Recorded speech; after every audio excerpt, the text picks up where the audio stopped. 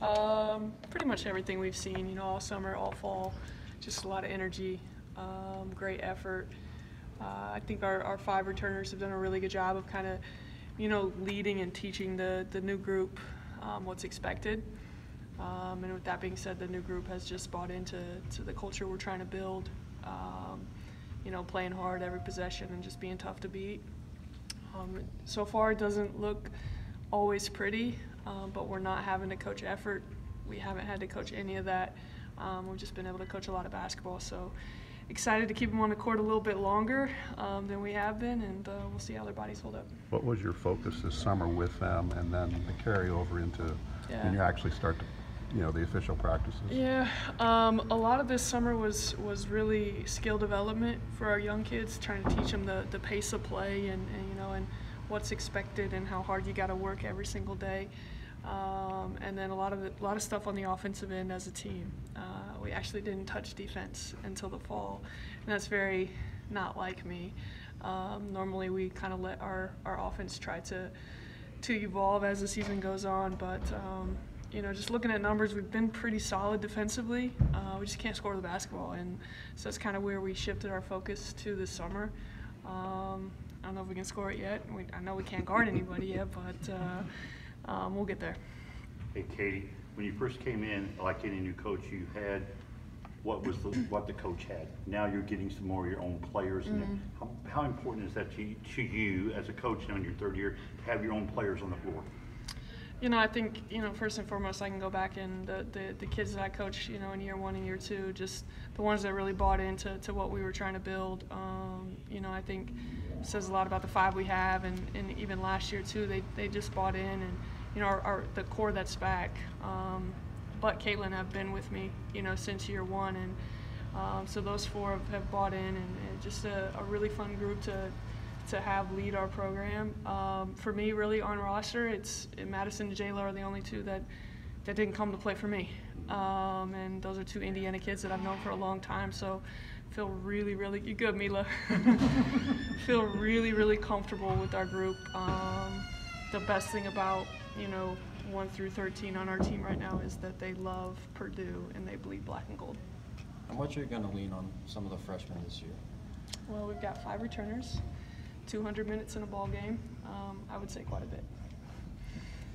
What, what do you need out of your freshman class this year? Um, the same thing they've been giving us. You know, you walk around campus and every, you know, every life that they've touched or worked with um, that they've been here, they, you know, they've they've got a good reputation. They're they're on study tables on time. They're you know, no problems in the classroom so far. They work their tail off with Chaz. They great with the nutri- you know with our dietitian and in the in the in the training room. So everything we thought they were is exactly who they have been for us. Um, on the court, just you know trusting it and you know, trusting the process. It's um, I think we last week we kind of started to dabble in some defensive stuff, and I think their heads kind of spinning a little bit just with how fast it's got to go. But you know, I promise them we'll never put them in a position to fail, um, and, and trust it. And uh, I think, I mean, I think the the community here, the university will will love this group. And I think it just goes down to, you know, goes back to they want Purdue to win, and they, they, they bleed black and gold, um, and that's, you know, that's that's what it's all about. How many sets of sisters have you had to coach in the past? I I don't think I've ever had a set of sisters, and I've got three. so it's either really, really good or really, really dumb. I don't know. So far, so far it's been great. First names on everybody then? Or how do you keep Um, them straight? Yeah, everybody has a first name. We don't call anybody by their last name around here. If they get a full name, then they know they're in trouble. Katie Murray actually talked about just how she didn't feel like you were, um, I guess, putting a sales pitch on her so much as much as being real and just being yourself. And then JT kind of talked about you know who you are in front of the cameras, who you are in the locker room, uh, just kind of giving that real persona 24 hours a day. I guess that's the only way you know how to do things. But how much does that translate to these these girls buying in? Yeah, I, you know, I, it's not. I mean, what you see is what you get. Like that's that's exactly who I am in the recruiting world. It's exactly who I am on the court. Um, every once in a while, we get into them a little bit more, um, but you know, I think that's what life is about, really, and especially coaching in this day, like being real and being genuine. Um, coaching is pure relationships. Everybody, you know, the X's and O's, and everybody knows the game at this level. But if you can have really real, intimate relationships, you know, with your with your team, and your your team buys into to everything you're saying. Um, you know, they, they know that I'm going to ask them to run through a brick wall, but I'm running it. I'm running right, right through there with them. Uh, maybe not as fast. Or I was never really fast, but uh, but I'm right there with them every step every step of the way. And uh, I mean, that's that's what it's all about. I mean, I you know I go to weddings of former players, and they call me when they have you know the birth of their children. That's what that's what this job is all about. Who's your surprise player this year? I think that's I think that's up for debate. I think there's there's a lot of people who could probably surprise. Um, in in the five that we have back, you know, we talked about it last year. We really need Jayla Jayla Smith to take a big step. Um, just losing Laisha to you know to graduation and um, the the what Laisha gave us offensively. Um, you know, we need, we need Jayla to take a, a bigger step.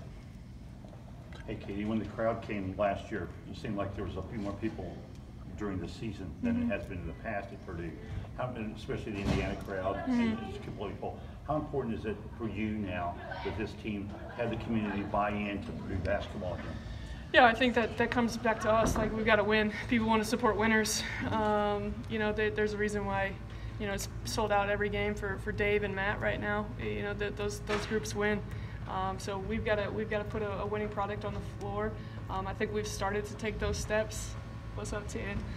Uh, we started to take those steps because we're. I think we, you know, we play hard and we're fun to watch. Um, but the next step is us winning all those games.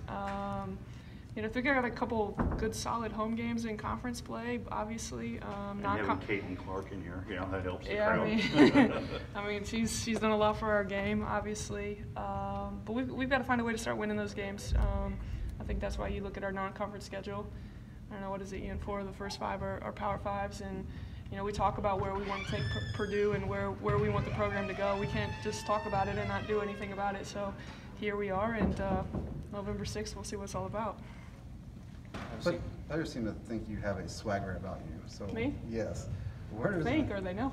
well, maybe they know, uh, but either way, just kind of where does that, that confidence come from? Where you know you, you look the part when you go out there. Yeah, I, well, I think, I mean, that's just really who I am. Um, comfortable in my own skin. Um, you know, I always felt like, you know, even though I didn't say it a lot when I played, I always felt like I felt like I was the best player on the floor um, when I played here. Um, I know I'm not the best coach, um, but I have a confidence about what I'm doing and um, how how we can lead our team. Um, you know, I just I don't know if you if you're do something like just step up and own it. If you don't, you just pretend and fake it until you figure it out, and that's really what it's about, I guess. But they should know I have that swagger.